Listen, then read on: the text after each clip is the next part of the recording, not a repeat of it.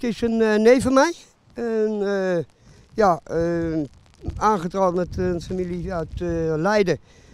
En ja, ik hoor het ook net van mijn vrouw dat ze alle twee overleden waren. Tenminste, dood zijn. En ja, ik ken nu in principe over deze complete situatie weinig vertellen. Het zijn woonwagenmensen. Ze komen oorspronkelijk van het woonwagenkamp af.